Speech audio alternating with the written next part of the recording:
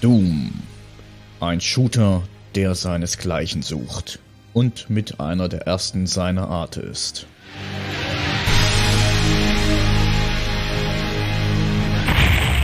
Doom wurde nicht nur einfach auf die Konsole portiert, nein, es wurde fast neu dafür programmiert und man merkt es dem Spiel in jeglicher seiner Facetten an, dass es eigentlich wie gemacht für die PS1 ist. Es steuert sich butterweich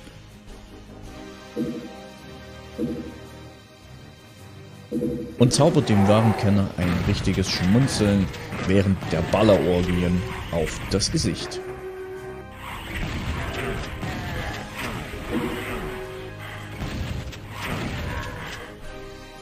Doom ist perfekt für einen dieser Tage, wo man einfach nur den Kopf ausmachen und alles, was einen in den Weg kommt, einfach nur umrotzen möchte. Das ist Doom. Etwas grobschlächtig in der Grafik, aber wenn wir überlegen, dass es ein Spiel von 1993 ist, kann man darüber getrost hinwegsehen, wie ich finde.